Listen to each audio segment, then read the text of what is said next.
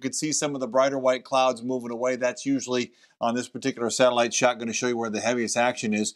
A little bit up here south of Saginaw, also moving west to east. So I think there's still some opportunity for development until about 9 or 10 o'clock. So we've got a few more hours to watch. This is one of our better uh, computer models saying once we get to about 10 o'clock, that is out of here, then partly cloudy tonight, and things certainly calm down for the weekend.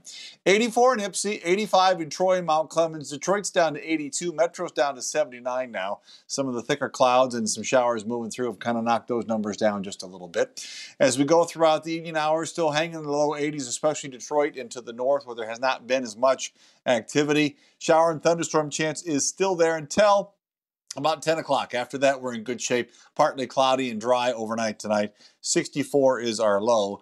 As we look ahead now to the weekend, this is spectacular. Sunshine, hardly a cloud in the sky on Saturday, 80 degrees.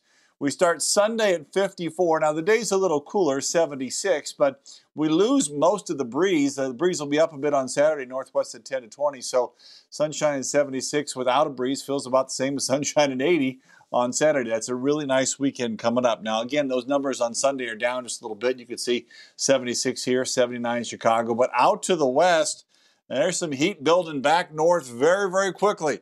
We'll be at 76 in Detroit on Sunday, Minneapolis 87. When they get warmer than us, to our northwest, we almost always warm up. And we'll be back to 80 on Monday and then hit 90 on Tuesday.